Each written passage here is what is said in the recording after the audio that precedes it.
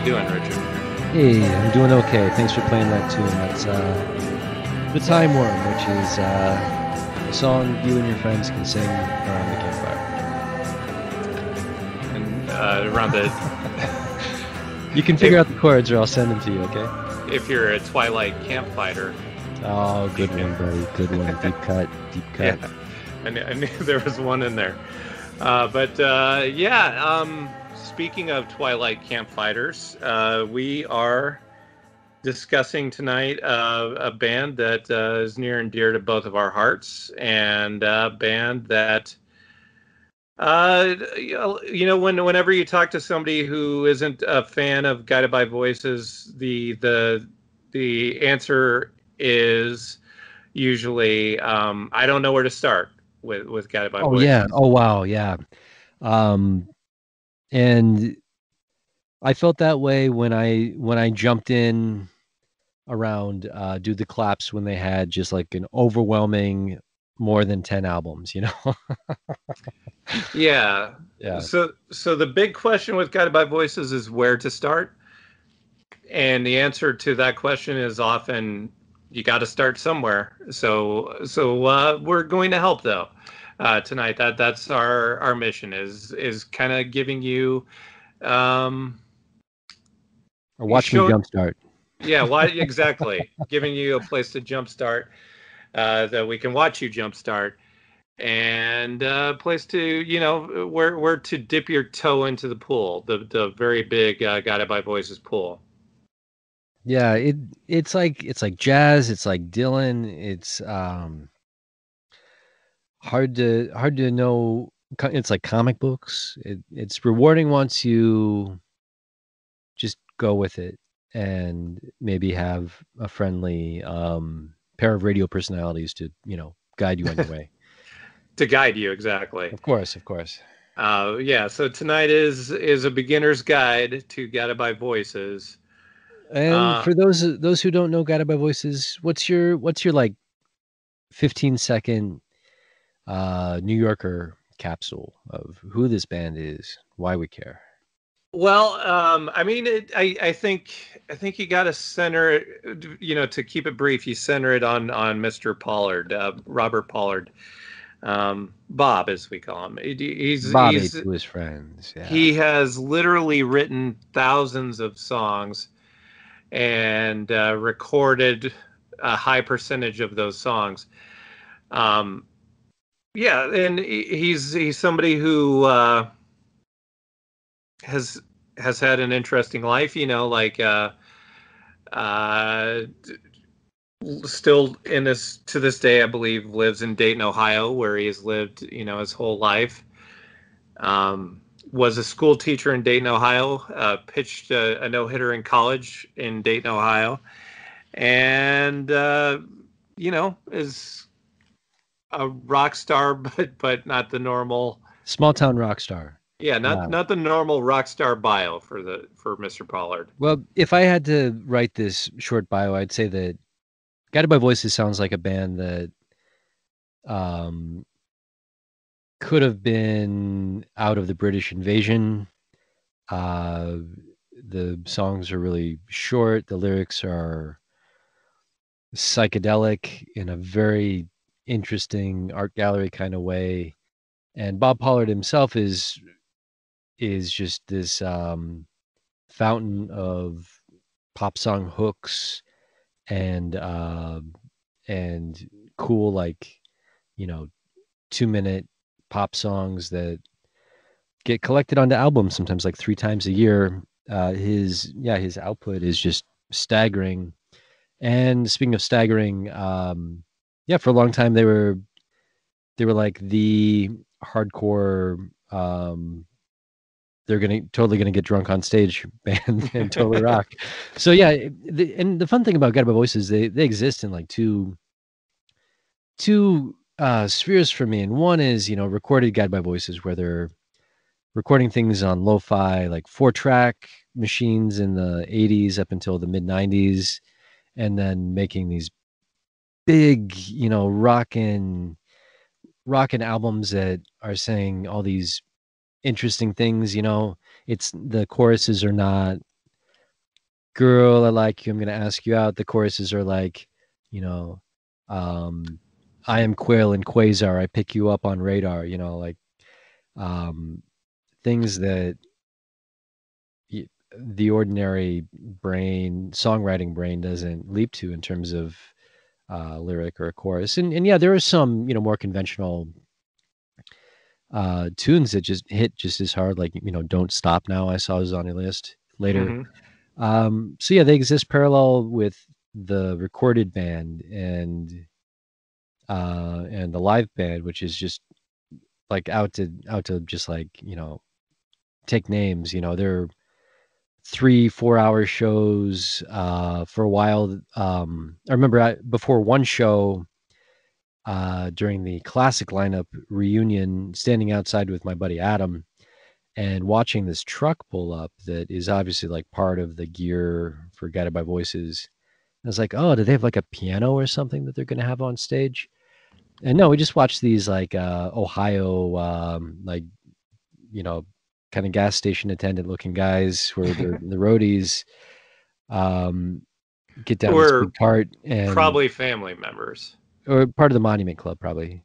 Uh, or family yeah, oh yeah, sure yeah. Um, take down just like this enormous quantity of Miller Lite in cases and stack it on this cart and then, you know, push it into the club and it all got consumed on stage.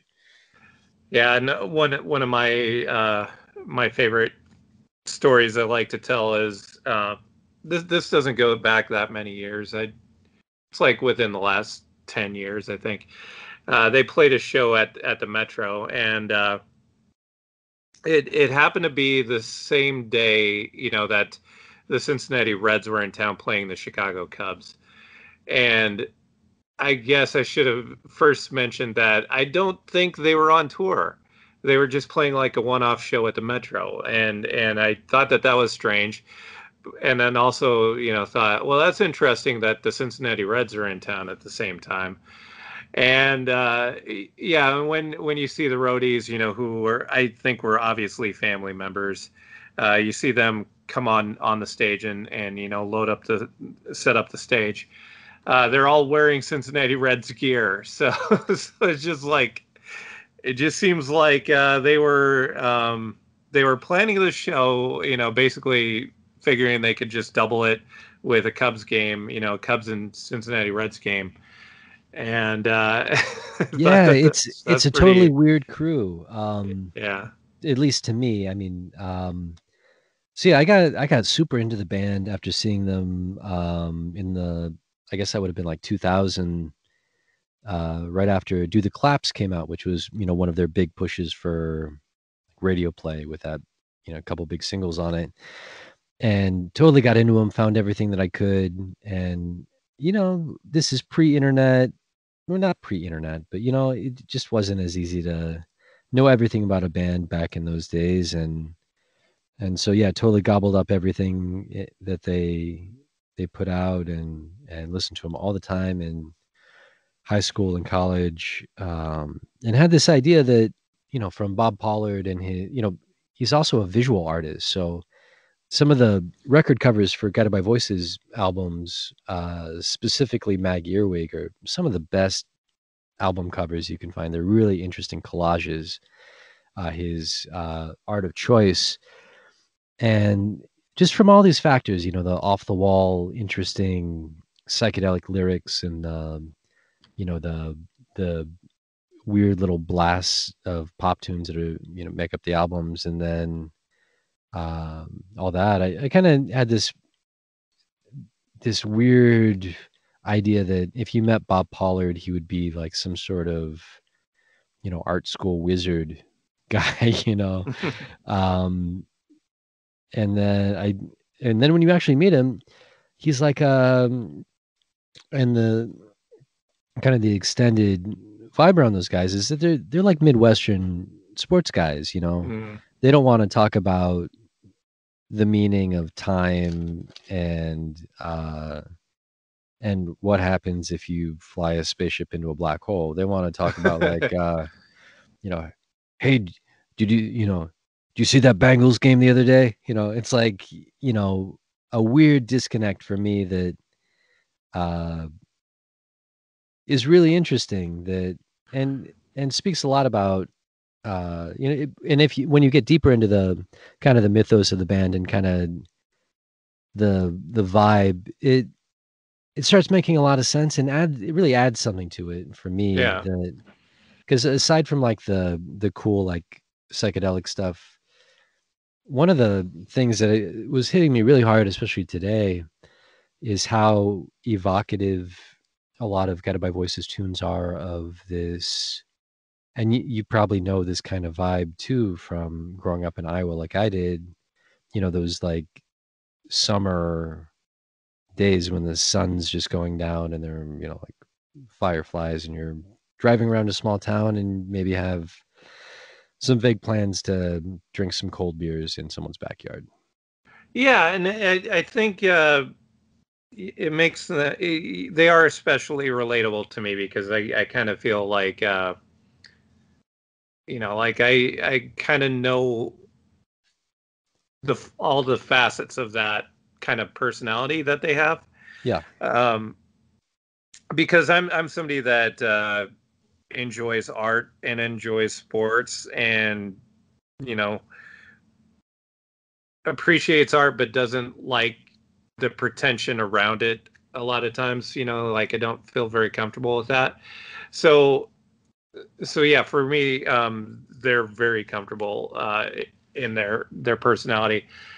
And also it's kind of interesting you you uh, brought up the midwestern thing because um you know when I, when I was a kid i always thought it was strange that ohio was was considered part of the midwest because uh, and then you went there well yeah part of it. Yeah that's part of it.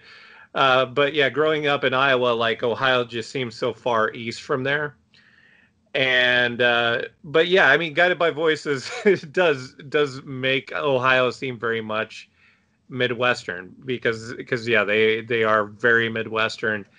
Um yeah and i don't even know that i'd have to go to ohio to understand how ohio is midwest but but just kind of knowing guided by voices like yep that's they're very midwestern Yeah, it's it's confusing because uh, you know almost all my family is in um, in Columbus, Ohio, and it feels like Iowa, you know, and and you have to deal with a lot of you, you are both gifted with and have to deal with the good and the bad, you know, that comes with that. Um, you have, you know, the friendly small town vibe where neighbors watch out for each other, but then sometimes you start talking politics and it turns out that they want to throw every brown person into prison, prison camps. So um, yeah, definitely that that tightrope that uh that you you have. But yeah, like weird little, you know, uh small midwestern towns on the prairie and but but i, I want to stress those aren't necessarily the same people no, they're I'm I'm I'm trying to say that they're very different people. yeah uh, yeah Maybe that point didn't come across. Yeah, no, Uh, it- yeah, yeah. it, it's it's not that everybody is you know uh will give you the shirt off their back but they're also racist like it's not it's not that those aren't the same people uh some in some cases it's confusing because sometimes they Yeah. are. Yeah know, sometimes they might be uh, but but uh, but, but anyway, we could we could have our entire uh, entire show about how conflicting and and weird it is to be a Midwestern guy in in modern life. Uh, and and yeah, you you you said another great thing that I I think about a lot, and I think you know uh, we have totally have in common is that um yeah i don't think it's a mutually exclusive thing to be able to enjoy sports and like the most indie of indie rock Mhm. um, and and for some people that is a it's a thing like you know you're supposed to Oh, yeah.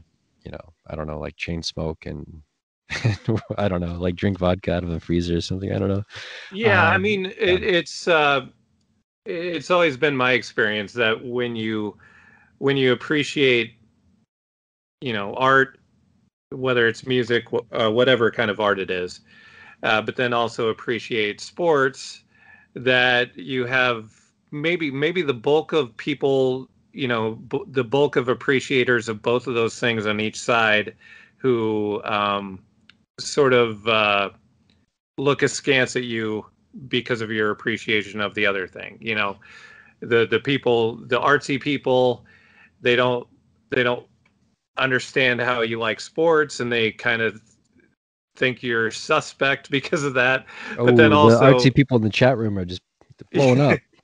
but then also you have the sports uh, fans that don't get you know how how you like uh, the artistic things that you do. So it's it's yeah it's weird. Um, but uh, I think Guided by Voices is one of those one of those things that I'm thankful for because they apparently get it. You know. They do, yeah. Um, you know, uh, one thing we haven't mentioned, we, we're normally pretty good about mentioning at the top of the uh, top of the show, is uh, how do people find these these playlists that, that we're referencing for LOTD Pod? Okay, so all of our playlists, including the playlists you know that we're going to be discussing tonight, uh, you can find on Spotify by searching LOTD Pod, which uh, to find our playlist, you want to look for LOTD Pod under profiles. Uh, but you could also find our podcast there if you uh, don't already listen to us on Spotify. Um, so serves uh, multiple purposes. Great, yeah, and your your playlist I think is called uh, Beyond Bee Thousand. Uh, yeah, and uh, yours is a guide to guided by voices. Is is that right? That's right. Yeah. and yeah. Yeah, and and mine. Uh, I think we both uh, skipped over Bee Thousand, if I'm correct. I pretty sure I had um I'm a scientist Oh, okay. on my my list. Okay, so I skipped over Bee Thousand, and it's not because uh, I I don't feel like Bee Thousand is an important record. I And feel like it's do, yeah. Yeah. I feel like it's the most important record. So, uh, in addition to to using you know our playlist to give you a start, I think you should also listen to Bee Thousand in, in its entirety. Um okay, so before we discuss any of our tunes, you you think that by an album the best kind of jumping in point is Bee Thousand?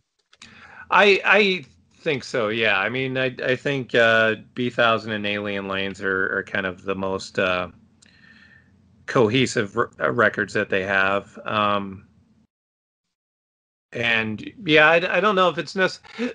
excuse me.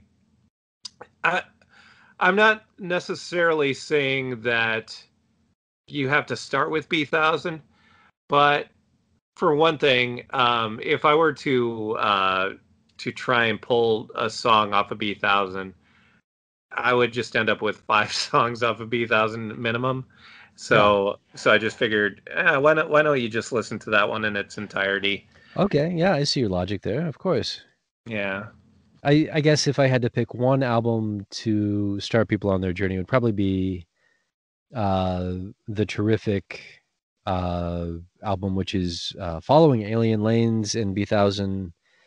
Uh, so this is kind of their first non-lo-fi record, and it's called "Under the Bushes, Under the Stars" from 1996. So Yeah, and and I I like that one a lot too. I think it's very underrated. everyone everyone loves that record. It's because it's awesome. Everyone should. it's got mystery it's got pop tunes um you know i i think one of the interesting things is um the ability of bob pollard to take a, a misheard phrase and turn it into something just like totally like mythological and i think uh one of my favorite tunes on this is uh the cutout witch which is a prime example of that And do you know what the cutout witch is in actuality? uh cutout switch Okay. Um, I I'm not sure I know what a cutout switch is. Uh, I think it's it's kind of like a car term, uh, like a kill switch. Okay. You, you know, speaking of, of of that, you know, like I always think the uh, metaphors are are particularly interesting, but then like uh, probably my favorite song off of Bee Thousand is "Smothered in Hugs," and I always think about the fact that uh, you know, like uh, on on first hearing, I, I thought the textbook committee sounds like an interesting metaphor. But then, you know, I thought again, and I'm and I'm like, well, he he taught school. He he probably is literally talking about a textbook committee. Yeah, so. but it's those everyday things that if it's not in your life or your profession, it's like, oh, that's that's weird stuff. Yeah, mm-hmm. and it yeah, it has like you know if uh, if you imagine the the the like 70s font of the textbook committee on the front of a record it could be like a pink floyd record or a soft machine or yeah. Gentle giant kind of prog thing you know? But but yeah i mean a, a lot of times when you cut through uh, the interesting metaphors you know because a lot of his songs are are about you know people in his neighborhood in dayton and there's there's a lot of examples of that and he really knows how to to make uh, I think the everyday thing sound uh, you know make the ordinary sound extraordinary. Yeah, yeah, and that's another thing that um, in my my imagined picture of Bob Pollard is that he'd be the kind of guy that you know you'd you'd try and like you know take the subway somewhere and he'd be you know too uh too focused on the artfulness of the the tile work in like the old station to like function you know? Um and that that's the yeah that, that's another really beautiful thing about guided by voices is yeah there's these it, it has that moment it captures those moments those small moments in in life that that are really like ephemeral and um really interesting um and you, the things that you you see and they're like oh that's so pretty and then you're on about your day and you forget about them i think there's one thing that we haven't covered yet as far as the setup goes is is just how uh, how so many of the songs are are great anthems you know it, it, he uh, pollard has has a way of um he has like a very anthemic uh touch, you know, to his to his songs. Yeah, I mean, one of his favorite bands is The Who, and mm-hmm.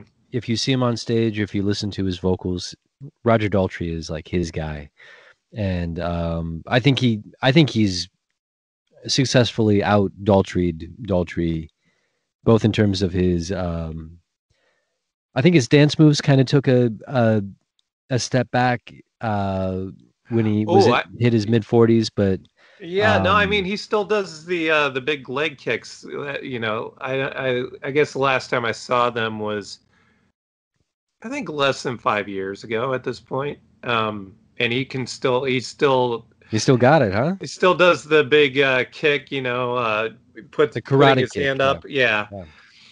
and uh, yeah, it's it's uh it's always good. And yeah, speaking of the Who, the last time time I saw them live, uh, the final encore they did Baba O'Riley, and, oh, and wow. yeah, that, yeah, that's that's very much you know, uh, it's their songs. A lot of their songs are in that tradition of Baba O'Riley. Yeah, yeah, and and that's a whole other thing that was really really spoke to me. I guess I I saw them for the first time and got into them the summer between junior year and senior year of high school, and and yeah, I feel like some of the the kind of uh, scenes and characters in in their stories are like, you know, teenagers in bedrooms with uh, classic rock collections. So that that I was like man, that reminds me of somebody.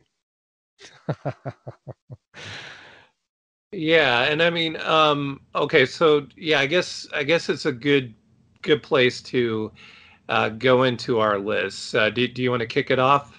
Yeah, man. Um, so I thought it would be really fun to, you know, the, the history of Guided by Voices is like its own. You, you would need like some Beatles anthology type airtime for this thing, but um, I started out with one of their most recent singles. This band is, you know, was formed in 1983, broke up in 2004, got back together in 2010, broke up again a couple other times, I think. Well, and had had a different lineup or Lineups changing all Yeah, the time. lineup. yeah. Like there are, you know, I think more people in the Wikipedia entry for past members of Guided by Voices than in my high school graduating class. um, but yeah, I, some of the new records are are they don't. I'm not at that point in my life where I go out and buy everything the day it comes out, or maybe even like are able to keep up with it. But when I do, I'm often surprised. And one of their most recent records is called Mirror as Mirrored Aztec, which came out, I believe, last year, and uh, just totally floored by um, a song called Bunko Men from from that album, which I think what you were talking about earlier with you know these anthemic choruses. I don't. I'd I'd be hard pressed to find. Well, no, I wouldn't. I'd be, probably be able to find thirty other ones because they're so prolific. But uh, a really great example of just like a you know fist in the air, like awesome, you know, two minute twenty one rock anthem, Bunko Hmm. Man. Yes. Um, and then uh, the first two songs kind of go together because um, Robert Pollard's prodigious uh, solo output is definitely fair game and has that Guided by Voices feel and and most of the same characters playing on it too. And my the absolute best, in my opinion, Robert Pollard solo album is called Not in My Air Force. And the lead off track is Maggie Turns to Flies, which is another just interesting, rocking, you know, cool tune, uh, and totally captures that whole like Ray Bradbury, Dandelion Wine, small town thing, you know, in uh, a three minute and 14 second weird lo fi uh, rock tune. Yeah. What you got? Well, uh, my list, you know, okay, so again, you know, this doesn't include uh, Bee Thousand. It's called uh, Beyond Bee Thousand, um, and if you're searching it, it, Beyond is is spelled B E E dash Y O N D. Uh, so anyway, um, the other thing that I wanted to do was, uh, as I often do, I, I I very much want to make the list have a certain flow to it, and I often think of like the way a good set list works when you see a band live. So um, The traditional opener that you have, which I, you know, I, yeah, Well, I mean, it. You would think it would be a traditional opener, but you know, like you don't often see them uh, do this one live. But uh, a salty salute is kind of you know the I think the obvious uh, way to start off a guided by voices set. They just don't always do it that way, but but uh, but it is. It's uh, a salty salute is from Alien Lanes, by the way. Um, and uh, yeah, it's just. Uh, it's a great opener. Um, it has the great opening line. The club is open, um, hey, which the club is open. Yeah, Yeah. wow. and and it it it is very much the you know thematic um, guided by voices sort of thing. You know where it's like uh, uh, you know the uh, I I don't know this for a fact, but it but I'm sure these are just you know dudes that they they're singing about dudes that they would see in the neighborhood in Dayton, and it's just kind of that thing. Yeah, and um, the times that I've seen them play a salty salute, uh, I've only seen them play, I think, six or seven or eight times, which compared to my friend Dr. Chad, uh, he's well over 100 by now, 100 shows. He's Which the, which the is Platinum Club. Yeah. which you're talking you know i mean they don't play like the as they don't play sets as long as they used to but i'm sure like if you figure out the hours that he's he's he's well over 300 hours i'm sure Oh yeah, oh yeah. He's he's hardcore and was the introduction to the band. Um, oh, actually, Chad and I became friends because he he was um, giving a promo copy of Isolation Drills to our local record store guy Kirk at Record Collector, and we're we're still friends. He, he's a great guy, and uh, and took me to a show at the Metro where uh, because of Chad's relationship with the band we um, hung out backstage and and met everybody. And and yeah, uh, weird late night, and you know, it's like, well, I I guess I'm just gonna skip class the next day because I'm hanging out with members of Cheap Trick. nice. um, and yeah, all these Midwestern guys that like I, I didn't have a lot in common with, but you know, just hanging out drinking beers. Um, but yeah, Salty Salute. Uh, in the many, as I was starting with my story, is that um, in some of the the shows I've seen them play, it's yeah, just this great launching point where you know the club is open and there's a neon sign on like a bar, a beer light. You know, the beer light will guide us. Um, comes on on stage and and in some of the very last shows not only was there a beer light but there was a functioning bar on stage where the, uh, the guys would take a take a break and go over and, and like pound shots of tequila and, and then launch into the next tune yeah which that um that is curtailed over the years but but not as much as you might think yeah well i mean there's only so much a body can take so Right. Uh, yeah. yeah. Uh, so so I, you know, having seen them um, over the course of uh, well, uh, over 15 years, uh, the sets got shorter. The drinking did curtail a bit. Leg kicks still intact, but you know maybe not as many of them. Uh, yeah, so I mean, still fairly consistent overall.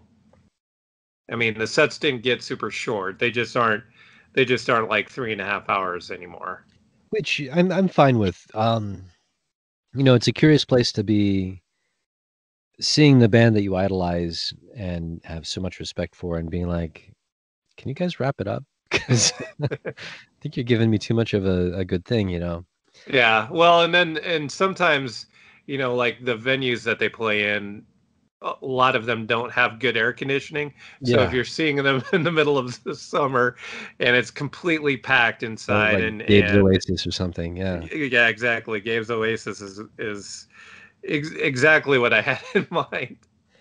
Um and yeah, so if if it's in the summer and you're at Gabe's Oasis in Iowa City and they're they're in, you know, they're two and a half hours in, you're you're maybe not maybe not as thankful for it as as you would like to be.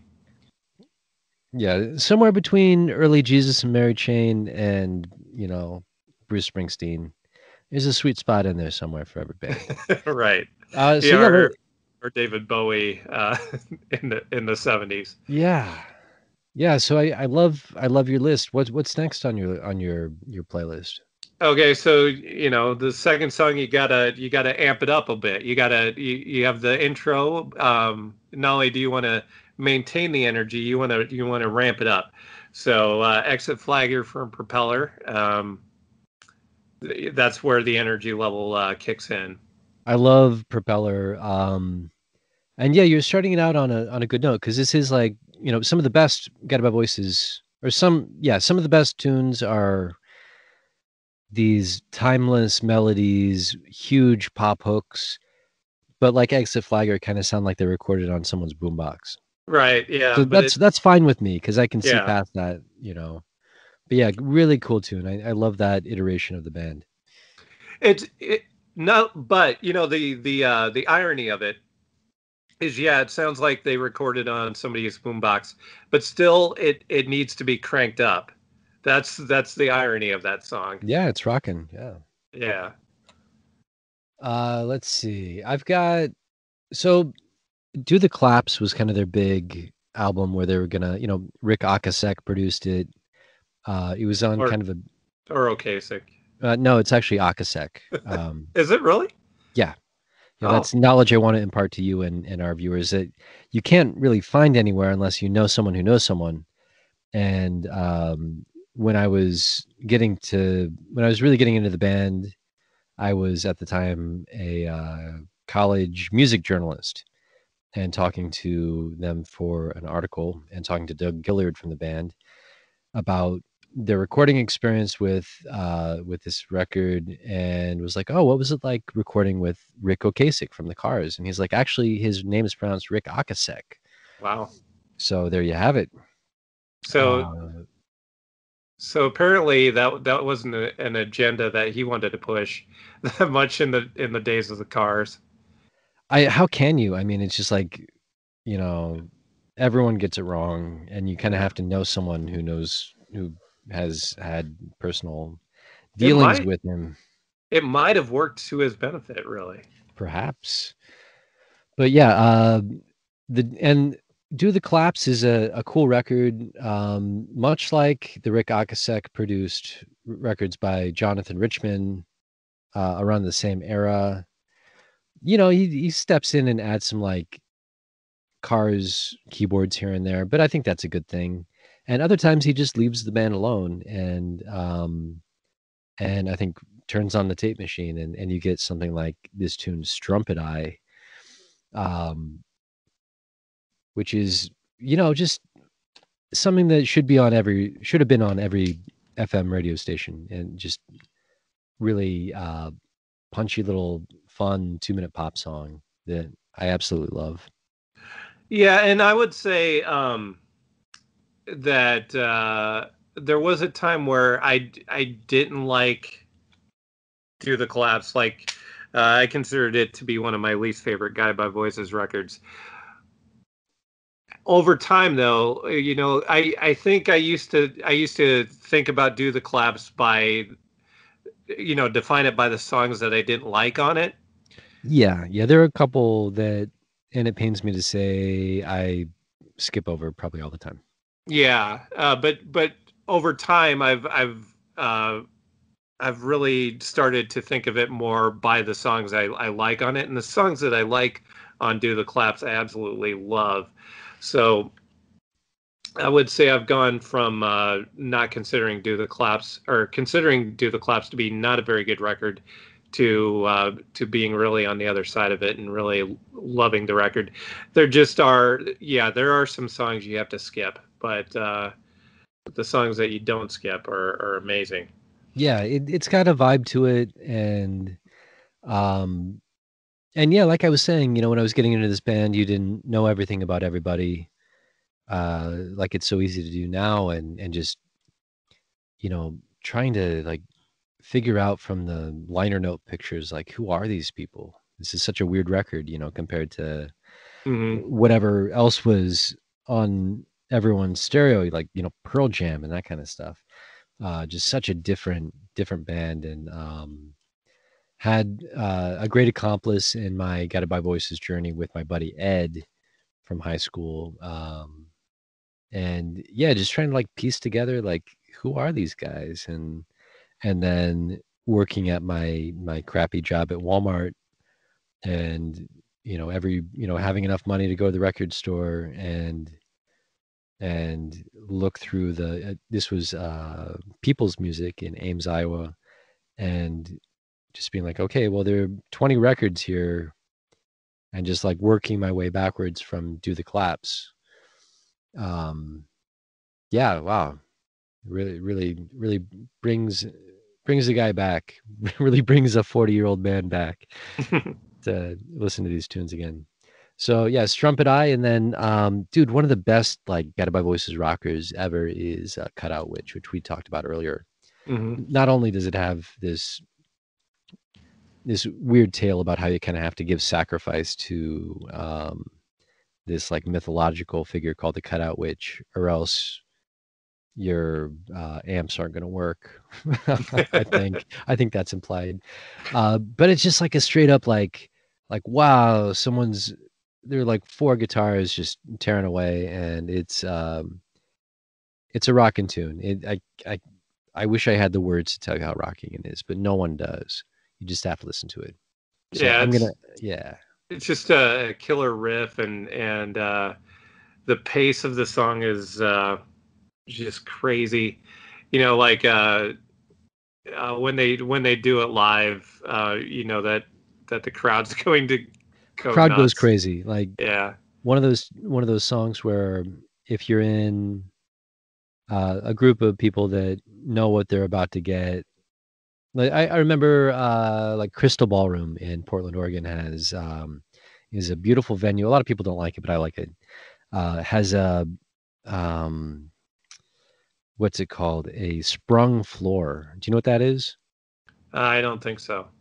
So it the the venue uh, dates from the 1920s. is a beautiful, you know, ornate kind of Art Deco place, uh, and was originally like a giant dance hall. And so the the floor has um, something built into it where it has uh, like an enormous spring below it. So, uh, and being there when you're seeing Guided by Voices, and everyone knows what this tune is by the opening riff and yeah by the time it, it gets into the into the the meat of the song just the floor just like bowing up and down with wow so cool yeah and i, I think uh, i think you might feel similar even if uh, the if there wasn't anything unusual about the floor yeah, just, I mean, you just you just feel it. It's it's yeah. um it's like a static electricity kind of kind of thing when they play that song. It's really special. Um, yeah, Cutout Witch. I'm going to hand the baton back to you, buddy. You've got some really cool tunes on here. I'm, I'm loving it. Okay. Uh, yeah. So I, I wanted to, you, you can't, you can't, in, in the amount of time and space that we have here tonight, um, space, right. Uh, you cannot really even cover, uh, a, you know, bits and pieces of uh, the Robert Pollard solo stuff, the the projects. I wanted to get, you know, I wanted to highlight some of that though. Yeah, uh, yeah, I appreciate that. That's that's a big big topic to try and. Yeah, and and so a really good uh, one of my favorite guided by voices adjacent songs uh, is from the the Robert Pollard and Doug Gillard album uh, "Speak Kindly of Your Volunteer Fire Department." And, uh, uh, you know, speaking of great riffs, um, Pop Zeus, the, the guitar riff on that is just so cool. And and it's another, you know, like there there are similarities. It, it doesn't quite have that. Uh, like maybe there's there's sort of a, a dark energy to Cutout Witch, and and this is more of a lighter energy. But, Which I think but, is all over that record. Um, yeah. Yeah, but but it but it other than that, like that they're similar because it is a, a high intensity uh, sort of thing, and it and it uh, seems to spring out from that guitar riff. And I, I noticed your placement of that that tune. Well, I noticed that you put this tune on here, but I didn't really think about it when I was putting my playlist together. Um, and my my next tune is "Do Something Real" from that same record.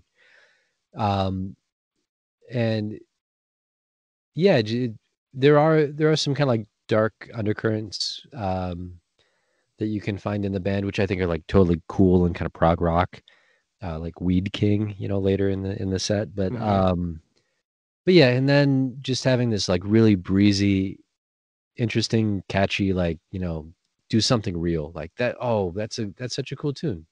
Yeah, and, uh, and I think that vibe is is everywhere on on Speak Kindly of your local volunteer fire department. Yeah, it, it's it's and yeah, I you know going into like uh, the set list sort of structure of my playlist. Uh, Pop Zeus coming out of Exit Flagger is is just kind of a good way to keep that momentum going.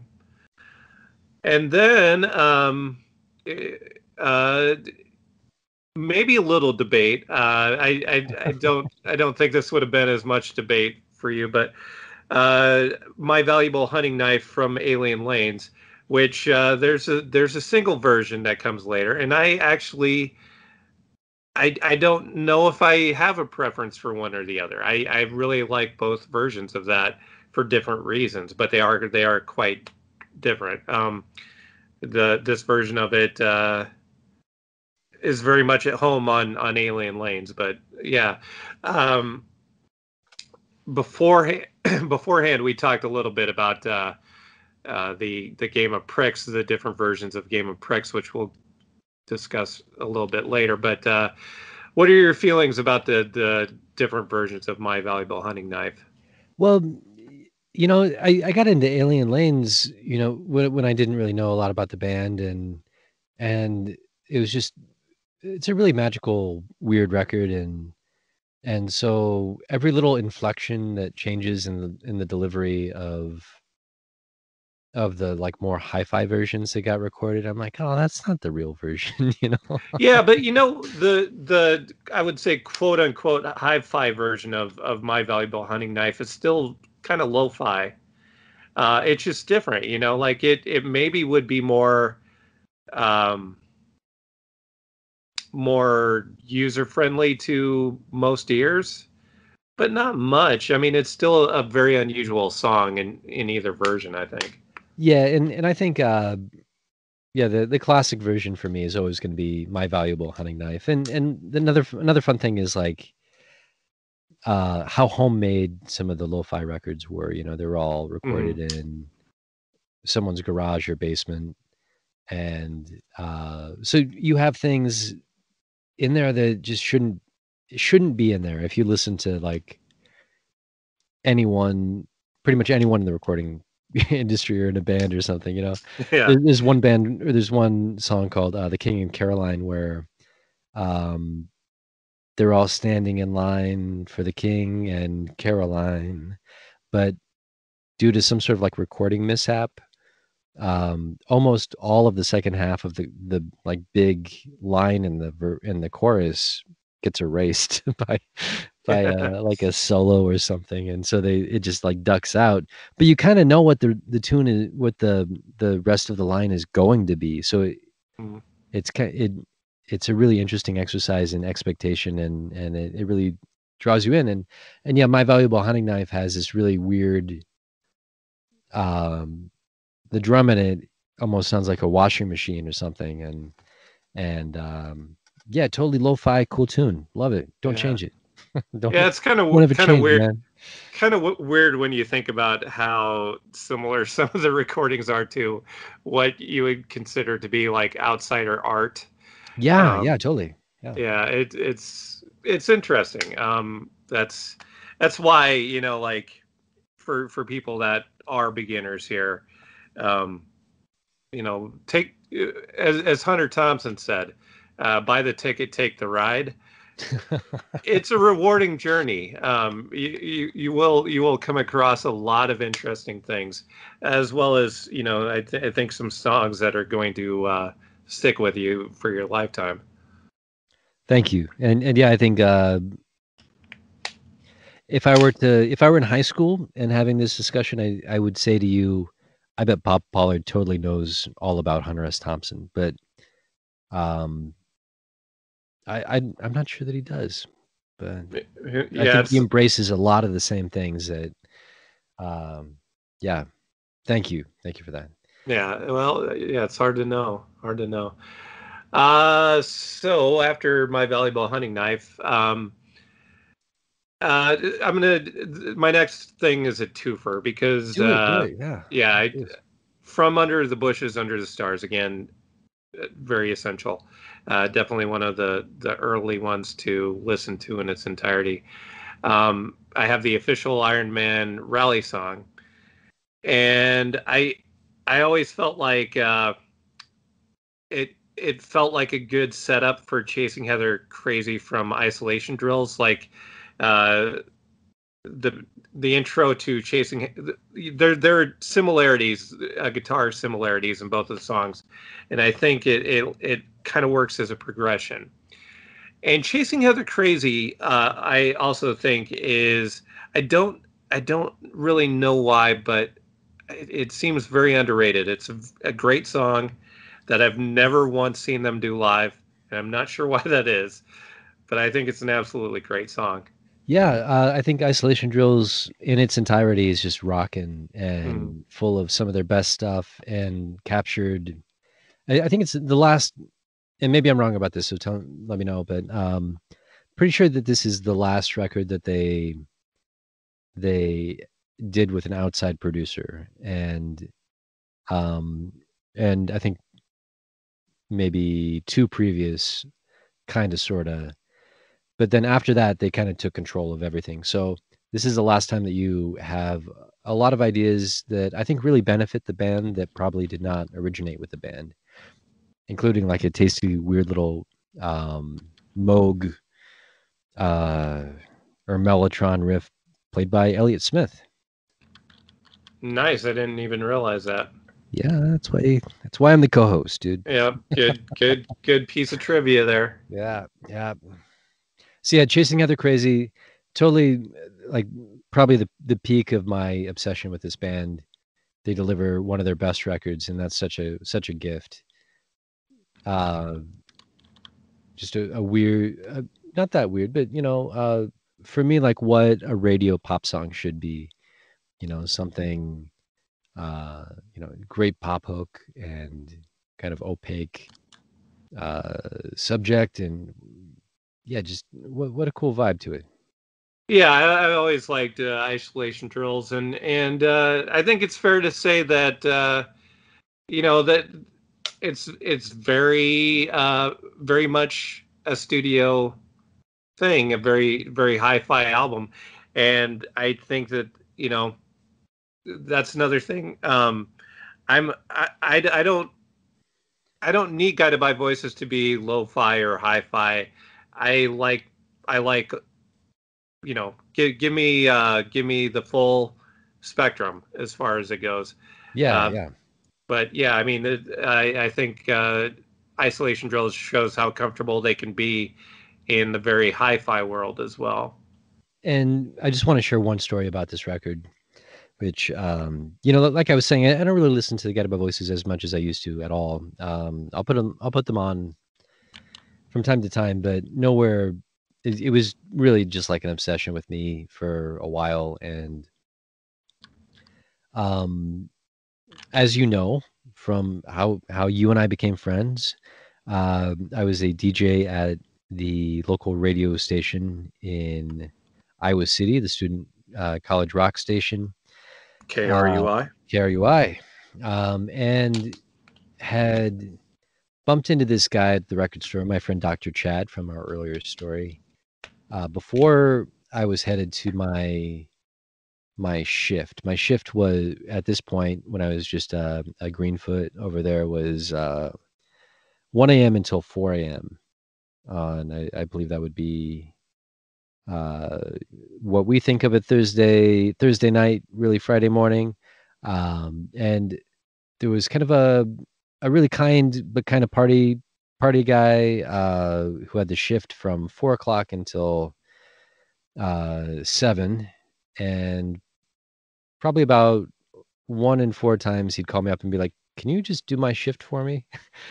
and so I'd, I'd, met Chad, and and uh, this is before Isolation Drills came out, and he gave me a promo copy, an advance copy, uh, before I went to my show, and uh, did my 1 a.m. to 7 a.m. shift, um, and then s- just stayed up for the rest of the day or night listening to that record, and you know normally I would try and sack out for a little bit before I think I had a class at at uh, ten o'clock on Fridays. So, um, but yeah, I just I just stayed up all night listening to that record and and showed up looking like a zombie. But you know, so such a, a special memory of of uh, of that of getting getting to know that music.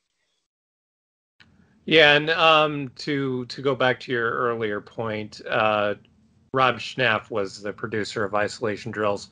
Todd Tobias uh, produced the next three after it. Right, and I think like a ton of, um, I I don't know, maybe like twenty or thirty records other than those. Uh,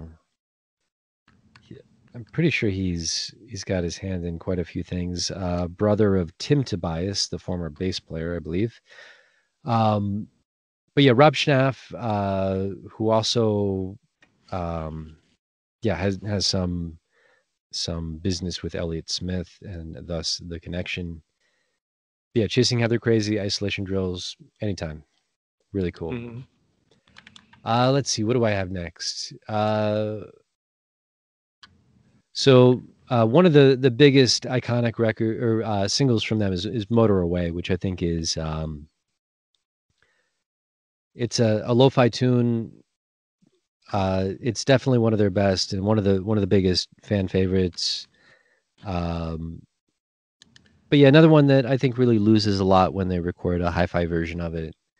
Motor Away is is everything a cool pop tune uh, should have. It has that. Um, it has, without explicitly saying it, like this. Um, let's get into like a vintage Mustang, play the radio real loud, and like blow town and never look back, kind of vibe to it, you know. Uh, and and it's it's poetic, you know. I've, really looked at uh, you know, when you motorway uh, past the once red lips, uh, you can tell yourself this was a chance of a lifetime. Like, um, yeah, it has has everything that that you need in like a let's get out of this small town rock anthem in Yeah. this compact, you know, two minute delivery recorded on an eight track, I believe. Uh, time like one of one of their best songs. Yeah, I, I would even maybe just go as far as to say that's the best one. Uh, I would say if you're going to start with one song, you might you might just put that one on first if if you're just looking. Agreed. Uh, agreed. Yeah, and and uh, you know then then hopefully move on to our lists or or Bee Thousand or or whatever. Uh, but but yeah, if you if you if you're going to find like the smallest sample size to start with, I would start with Motor Away. Yeah. And then um you know, I I think Motor Away and then uh to kind of pivot a little bit um from Bob Pollard's I believe second solo record which is called Waved Out uh an equally awesome fun or not equally awesome. it- It's a really cool tune called Subspace Biographies which is uh yeah like a little bit more of a, a weird psychedelic thing. Um and then i'm i'm going kind of quickly because a lot of these things we kind of talked about um surgical focus is a beautiful song from do the Collapse. Yeah, and uh and then uh the enemy which i think is the one that elliott smith plays keyboards on if my memory serves uh is kind of the band at its most grown up i think and, and most like refined yeah, and in um, Surgical Focus, I think is a really good example. I I feel like uh, you know, no no offense to uh, to Mitch Mitchell or, or, or you know anybody, uh, but but Doug Gillard, I I think. Uh, doug gillard is a guitar wizard Yeah, he's just so great. And yeah, surgical focus is just such a great example of, of what he what he brings to the band. Um yeah, he's he's just he's such a great guitarist. Just um yeah, I, he- very very tasteful. Just every every note is the perfect note with him. yeah he's not yeah he he's and and that's such a special combination of someone that can absolutely shred on guitar but knows when when not to do so Yeah, um, so it- really sort of- tasteful elegant guitarist it's and not also about just like a, a nice guy like eh, you know so refreshing to have have that you know yeah, but yeah, it's not about playing a million notes. It's about playing the right the note. right notes. Yeah. exactly yeah And yeah, Doug Gillard is is uh, just an example of, of how you should do it. All right, uh, next on my list. Uh, so uh, maybe some controversy here. Uh, I got Game of Pricks. Uh, that's not the controversial part, but I I picked the uh, the higher the higher fi uh, version of Game of Pricks, um, not not the uh, not the Alien Lanes version, which it's you know a great song is a great song, but I do prefer the hi-fi version of Game of Pricks for sure. Yeah strong. yeah we're gonna have to disagree on that one and and friends do disagree about you know I friends argue sometimes. It's part of part of. I don't friendship. I don't go looking for controversy. I don't I don't know go you- looking for don't, the yeah. hot take, but I won't shy away from it if if I uh, if I have strength in my convictions, and I do here. Uh, but yeah, it it's it's just the hi-fi version is just like as perfect as as perfect can be. I think.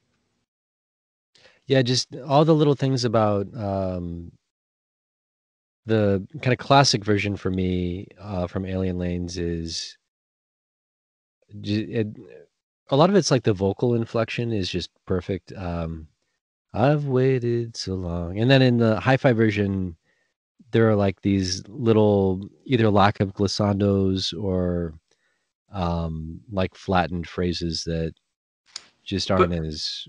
It, it it sounds like you know one thing you definitely don't get with the Alien Lanes version though is that build, that intro, the way the intro just builds up to that uh that big release, you know? Yeah, uh, I mean just that alone.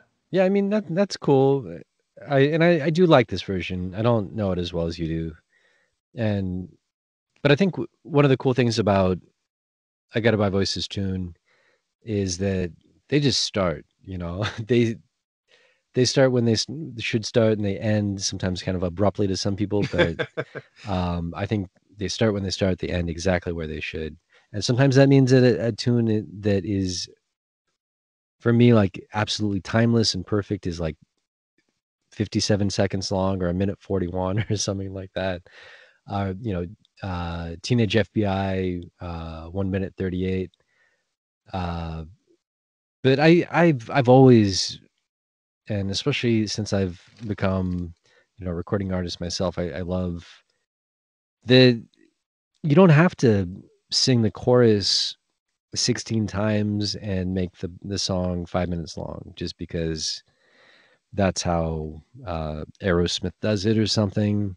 Uh, and well, yeah, Guided by Voices plays by its own rules, and a lot of that translates over to song structure and and uh, run run time and and dynamics, and I, I love it. Yeah, I mean the this version of Game of Pricks is is two minutes and fifteen seconds long, so I so I'm not sure if if that point you know had anything to do with the length of, of this particular song. Well, I I, I think that so the original tune just kind of like starts and it goes right into yeah. it. And this one has a you know the build up that you're talking about. Yeah, so great. And sometimes when when I hear stuff like that with you know there's the low fi version and the hi fi version, I'm I'm just like a little bit suspicious that someone's like, oh, you should have like a build up there. well, I I don't know. I I uh I I mean when you see them play this live, it they play it like like this version so I I don't know. I mean, maybe you're right in in your suspicions, but my my thoughts on it would be is just that uh, they didn't quite capture it the first time. They wanted to make it sound more like it sounds when they play it live. So yeah, yeah, yeah, totally. And um, you know, we, we can we can disagree about this one, but yeah, totally. Uh, probably their their second most well known uh, tune. Yeah, and and you really follow it. I, I think this is a great pairing of um of of the tune that you follow. Yeah. So uh, where where you have cutout witch, um, I have everywhere with helicopter. I I think like those are good counterparts. Uh, everywhere with helicopters from Universal Truths and Cycles. There's I think there's a lot of parallels between uh, everywhere with helicopter and, and cutout witch. Uh, very much. Um, you know, I think arpeggiated is, uh, you know, like I'm not, uh, I'm not super well versed in music theory, but I think arpeggiated is the word for the guitar riff. Yeah, sure. Yeah. And uh, yeah, and and it uh, it's very much the driving force of the song, like like it is with Cutout Witch. Yeah, I I I like this tune a lot, and I like Universal Truths and Cycles because it's where they, it's a first album where they are not produced by uh, you know, Kim Deal, Ric Ocasek, Rob Schnapf, whomever else, and and I think they really, uh, you know, there are these really cool big pop songs like "Everywhere with Helicopter," um, "Back to the Lake," uh, and then also some some tunes that that get back to um, the like weird prog rock uh, things that they they're kind of into, like that tune "Car Language" is uh, a, a good example.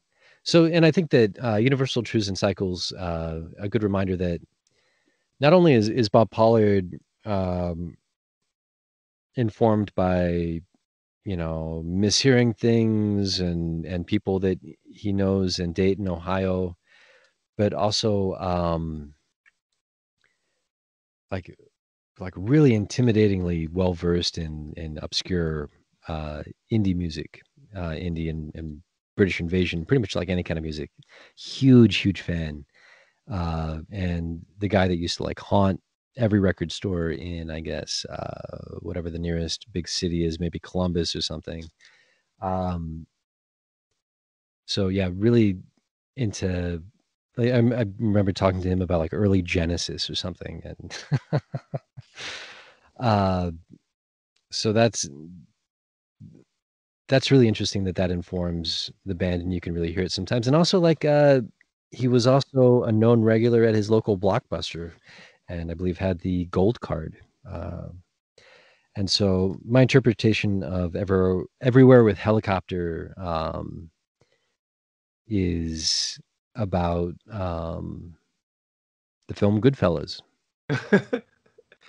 So how do you how do you have time to watch so many movies and write so many songs? Is is kind of the I don't my interpretation what I what I imagine and what I've kind of heard, you know, what I used to read in like Magnet magazine back in the mid aughts was that he doesn't have to try, you know. Mm.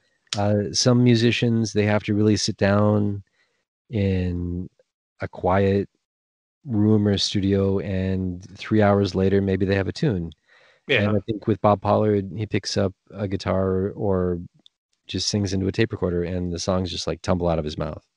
He's yeah. Yeah. I, I, yeah, I think there's something to that. And then also, if I remember right, because it's been a long time since I, there's a really good uh, biography, which um, I don't know if you know the title because I'll have to I'll have to look it up. Uh, but I don't think he sleeps very much. You know, I think that that's a big part of it too. Is that yeah, he just yeah. doesn't doesn't uh, he's not a big sleeper. Doesn't have time. Yeah, I, I have read that biography. I, I, can picture the cover. Um, but yeah, that, everywhere with helicopters is an interesting song because uh, it's one of the only Guided by Voices tunes where I'm like, I kind of know that riff from somewhere. Mm-hmm. And mm-hmm. it doesn't mean that they stole it. it. You know, you can't really um, but it is the same riff that you find in um, More Than a Feeling. Uh, and More Than a Feeling is that is that Journey? Boston. Boston. And uh, uh, there's an interesting lineage with that that tune. Uh, More Than a Feeling by Boston. The same riff in Smells Like Teen Spirit by Nirvana and everywhere with helicopter. And that that's cool. I, you know more power to him okay so yeah the the book was uh, guided by voices a brief history 21 years of hunting. Yeah yeah that was uh, a cool tune. And in my luxurious storage unit in portland oregon i also have a very uh, cool art book of uh, bob pollard's uh, collage uh, artwork so nice, nice. Yeah, hit up your local public library. Okay, so uh, we a couple times we've mentioned uh, Pollard songs about uh, fellow Daytonians, and uh, with that in mind, uh, King Shit and the Golden Boys. Oh, yeah. Uh, so uh, my next uh, next song on my list is "Don't Stop Now" from Under the Bushes, Under the Stars. Um, yeah, so so this is still you know in the uh, the lo-fi period, but the songs are sounding you know like the recordings are sounding bigger. The guitar sounds are are uh, more expansive, more like they breathe more. Um, like there are a lot of songs uh, like "Don't Stop Now," um, "Big Boring Wedding" from from also from Under the Bushes, Under the Stars, which I I think are just great songs to crank, you know, and and that's that again. That goes back to Exit Flagger too. Uh, just just these uh, very lo-fi songs, but still sound great when you play them very loud on a stereo. Oh yeah. Um, but yeah, I mean, uh, don't stop now. I think especially it just you you really I think have to uh, listen to it at full volume. I don't I don't think you do it justice otherwise. It's such a pretty song. Uh, I've always loved this song, and and yeah, it's got that. Uh, uh, gosh, what's that lyric? Um,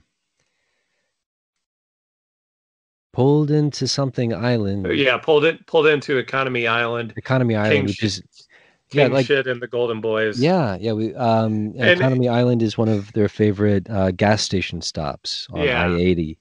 So yeah, and just it, like this self mythology mythology mytholo- Yeah, it, it's it's you know strutting around the uh the fueling station. You know. yeah, yeah.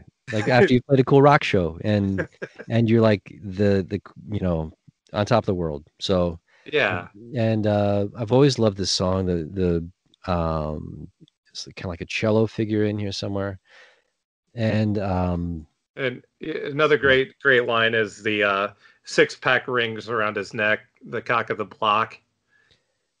It- Yeah. It's just just yeah, it's just kind of, you know, it, it uh it's it's that big feeling, but the irony that um you're you're like the big fish in the small pond sort of thing.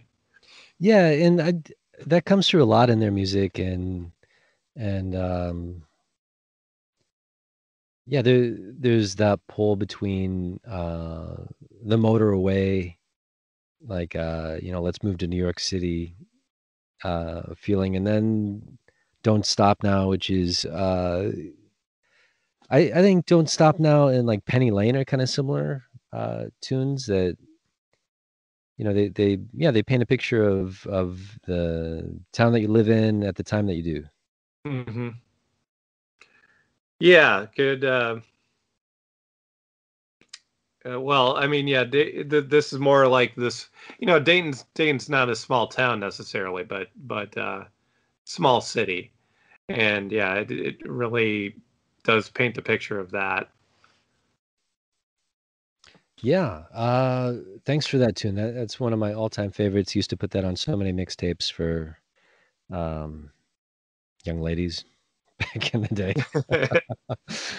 uh, and yeah, speaking to exactly what we're talking about is uh, the next tune. I couldn't find the seven-inch version, which I, of course, have. Uh, but um, a, a one-off single called Dayton, Ohio, 19 something and five. Um, and I think in the the version that I have on my playlist, the, the only version you can really find on Spotify, uh, the intro, the spoken intro is um, this is a song about smoking dope, going to cookouts, and hanging out on the west side. so yeah, you don't need to know any more about that song. That's exactly what it's about, um, in a, in a good way. Uh, and then I think I put, pretty sure the next tune I put on there is um kind of kind of has that uh, same kind of feel for me as Don't Stop Now, but it's called Total Exposure. Um and I think that might be the B side of um the Dayton, Ohio 19 something and 5 uh 7 inch one of the B sides because it's um like one of the most packed 45s you can you can find and kind of kind of sounds bad as a result because it has like six songs on it. Um, total exposure and then uh, i am a scientist i think is um, song that we talked about a little bit from Bee Thousand um, it's uh, lo-fi era but yeah just like a, a really weird little concise pop song Mhm. but um, that and kicker of elves were always you know definitely my go-to's on on Bee Thousand Yeah, I, uh, I am a scientist is up there. I my go-to is on Bee Thousand. Well, smothered in hugs definitely. Um, yeah, I, I don't know what what's really next after that. That's that's like my number one. Tractor rape chain chain is also great. Uh, yeah, probably those two are my my uh, one and two. Okay, so I'm in, I'm gonna kind of speed up the pace here a little bit. yeah yeah Um, okay, so just to go through my my number ten, Uh, we talked already a little bit about "Do the Collapse." It, it's it's an album that uh, I've come to appreciate more and more over the years uh, because because of, of the songs that I like on it, and I stopped worrying about the songs I didn't like on it. Yeah, man. Picture Me Big Time is is one of those songs that has really grown on me more and more over the years, and I I absolutely love it. Like in the past uh, two or three years, like it, it's made my monthly playlist so many times. Um, really love it, and uh, 14 cheerleader cold front from Propeller, uh, staple of their live sets. Uh, I guess depending on on what the lineup is, but but uh, great great song. Um very brief minute 32 uh th- th- this is why we have so many songs on our list is because they're they're so short that you know our, our playlists are about 50 minutes long. Definitely the the short bit of tape at the end uh, on your mixtape band for a long yeah. yeah you still have time for for 14 cheerleader cold front at the end of side a here. Um but uh, yeah, then then going back to like the uh, adjacent things, um, I have uh, Boston spaceships. If if you if you uh, weren't really around um, during the Boston spaceships period, great. That's that's a great period in in uh, the Pollard um, legacy, I guess, or or you know, in in his uh, oeuvre. Um, it, a lot of great songs uh, on those Boston Spaceships records. Just amazing hooks. You know, it's like like him at his most uh, power pop. Um, is, you know, he was showing a lot of great pop hooks sensibilities. Uh, and and uh, the first song I have off off of uh, the Boston Spaceships, uh, "Canned Food Demons" from Planets Are Blasted, and uh, just super great hooks. Uh, metal from zero to 99, more great hooks. Uh, those Boston Spaceship songs are, are those those are great. Um, I'm I'm going to bet that most people were not paying much attention during those years, but but those were great years. Yeah, uh, yeah. There's that. Uh, my buddy Ed, who I mentioned earlier, posted a a, a meme about um, uh, I think the meme says something like, uh, "My publicist says I should um, really focus my attention on uh, on on this particular launch and uh, not dilute my uh, fan base." and it's a picture of Bob Pollard, you know, and, and I'm like, and I'm like Bob Pollard. Um, so yeah, definitely, you know, uh, the drinking from the fire hose kind of thing. We're like, yeah, if Boston, if a Boston spaceship record was the only thing that he put out that year and like you know it got like the proper push from a pr agency or something and uh and wasn't one of like six or seven or i don't know what the the most prodigious year for bob pollard is but i'd say probably like seven records a year. Um you know it's just overwhelming for anybody man. Mm-hmm. yeah yeah it is. Uh but but yeah boston spaceships i, I would uh you know, I, I, wanted to make a point to include them here because um, I, I, think a lot of people did miss out on that and missed out on some great songs. Right on. And then uh, this, I, I wasn't really aware of this uh, Keene Brothers track. Yeah, Keene Brothers. So that's uh, that's Pollard and, and Tommy Keene. Um, Tommy Keene uh, around this time was was so around this time this was when Guided by Voices had broken up and Pollard was doing a, a you know solo touring, and uh, Tommy Keene was his lead guitarist. Uh, Jon Wurster of Superchunk and and the Bob Mould Band um, was and a million drummer. other bands, Spoon yeah, for a while, yeah. Yeah, uh, Jason Narducy, um, also uh, I think yeah, currently in Superchunk, and um, also in the Bob Mould Band. Uh, he was on bass really great band. I saw them live in Chicago in in 06. That's the same year that uh, that the Keene Brothers album Blues and Boogie Shoes came out. And uh, I included Heaven's Gate from that song, which is another, you know, more great uh, pop hooks. But but this is uh, this is years before the Boston Spaceships albums. Not yeah. not too many, about five years before that. Really cool tune. Uh, thanks for bringing that along. And um, can I can I just wrap up my set and then we'll talk about uh, your tunes? Sure. Yeah. So I wanted to bring everyone's attention to, you know, one of the like one of the the weirdest kind of cool tunes that got me into this band uh, is called Jane of the Waking Universe, and and yeah, just like all the all the all the great things, like huge huge pop hook, um, and lyrics that kind of read like I don't know, like Shel Silverstein or I, I don't even know, man. It's um, uh, or you know, a, a drunk person telling you about Greek mythology.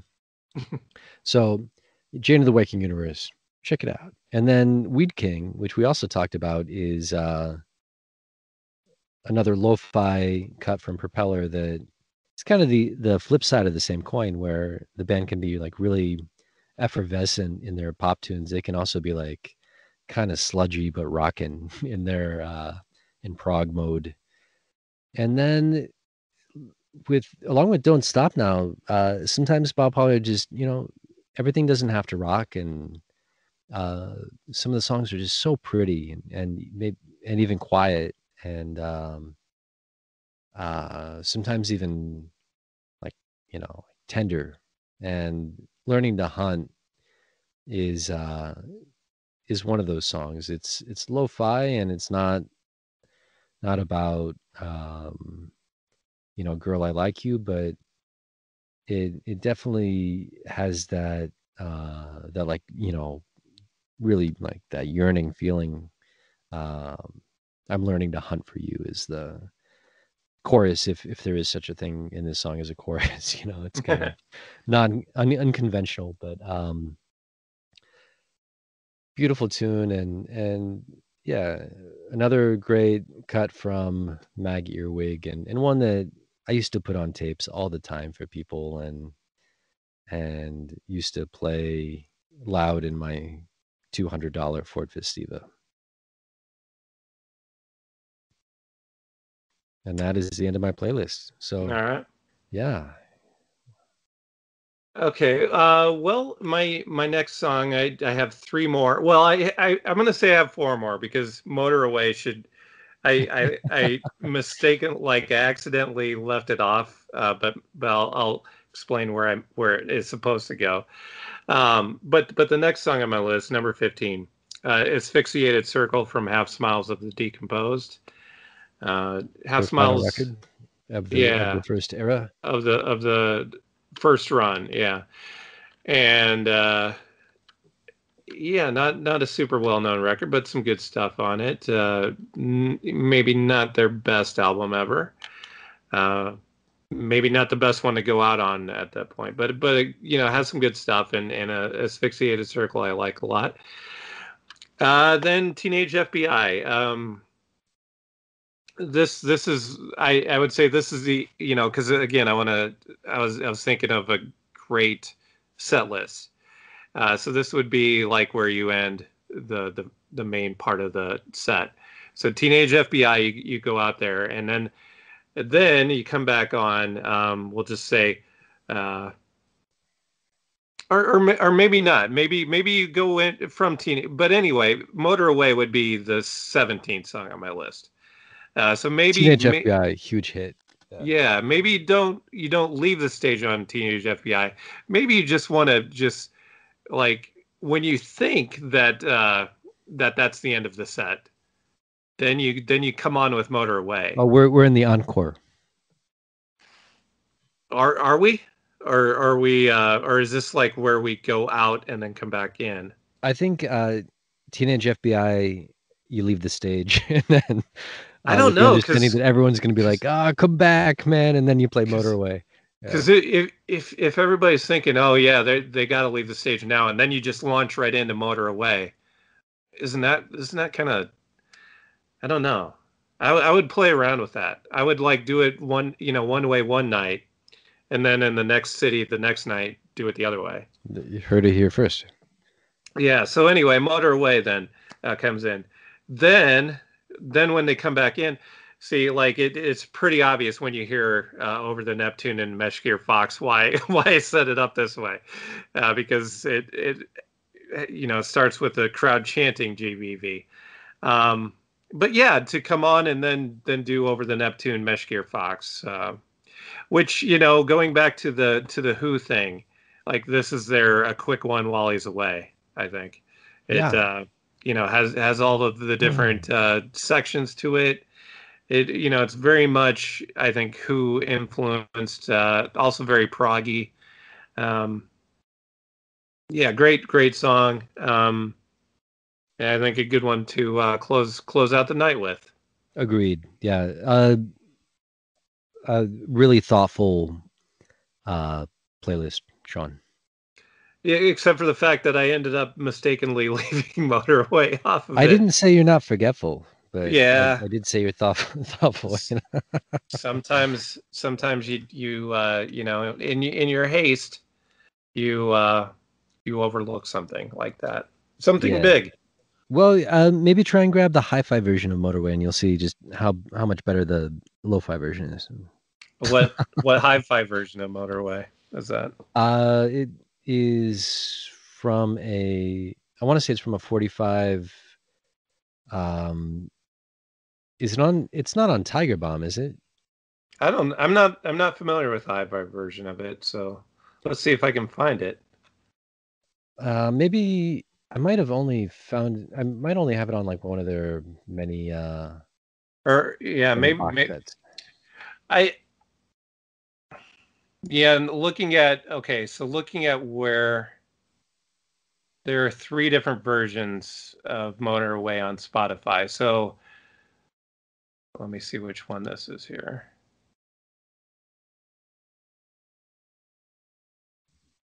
I'll, I'll have to investigate this. I, I think I might have heard this, but if I did, I didn't think much of it. Yeah. Okay. Yeah. The um the two minute and sixteen version is the hi-fi version that flattens out all the glissandos, which I love. Um.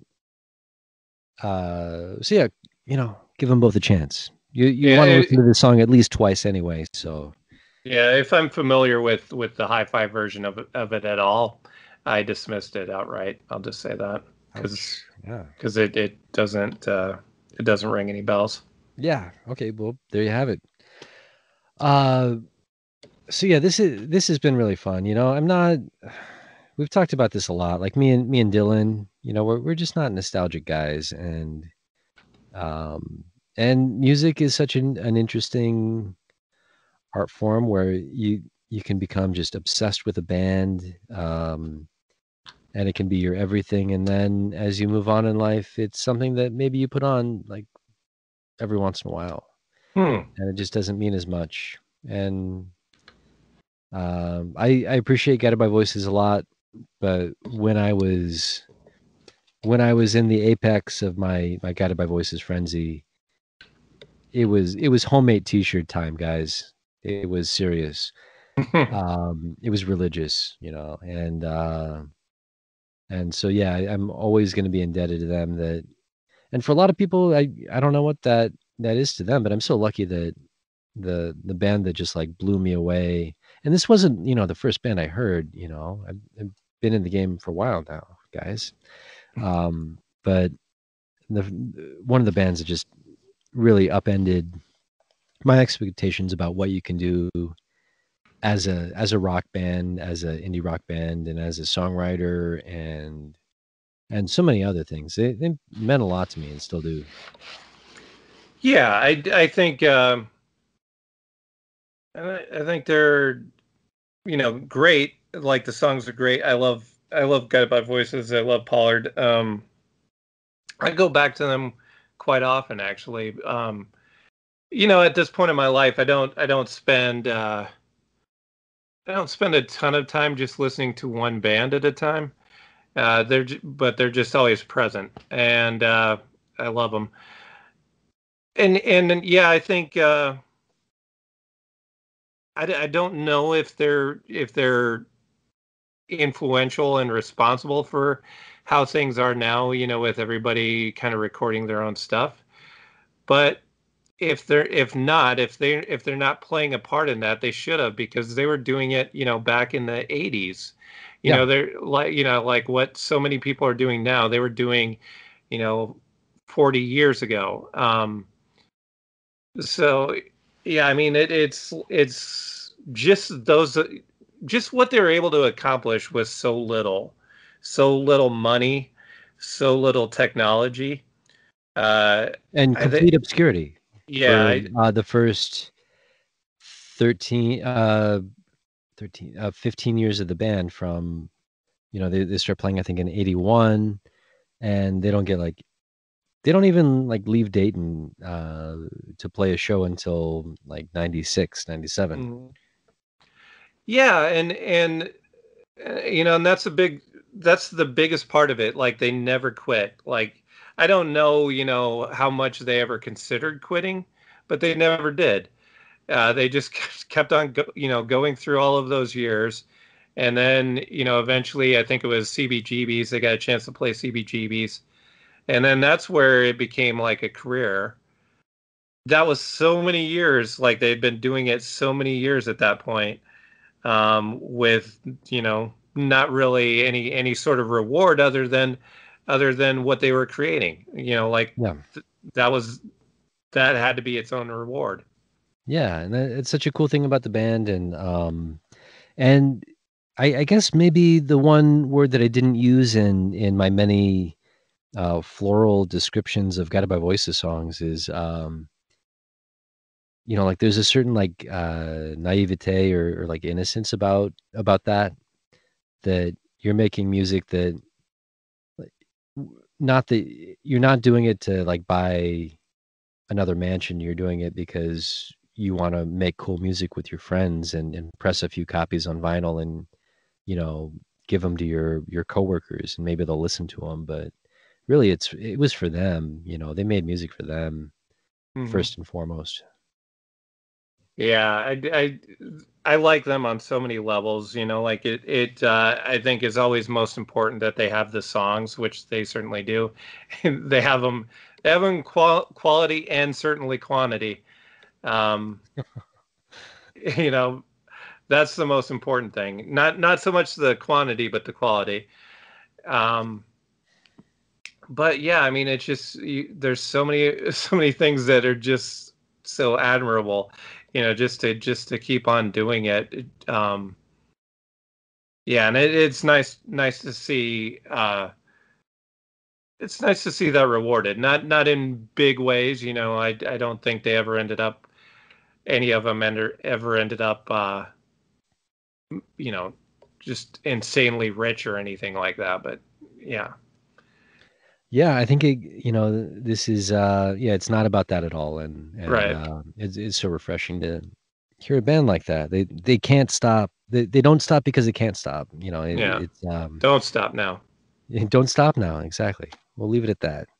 Uh, Sean, this has been a uh, really nice trip down um, memory lane for me, and uh, so cool to hear these songs again, and to uh, talk about one of the most interesting bands you can find, Guided by Voices. Yeah, and and do uh, do.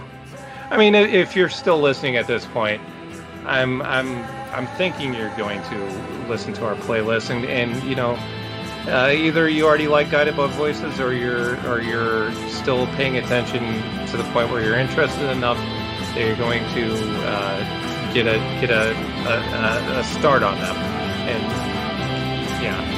Please do. Please do. Okay. Well, uh, this has been Electric Dial Pod, and you can find this playlist on Spotify. Might as well guide that list. Let's use B beyond 2000. So check them out, and as always, we appreciate you, all of our. Uh, let's see. Let's look at the clicker many tens of thousands of listeners. Um, it, it's uh, so cool to be able to talk about this music with you. And we'll do it again next week. See you next week.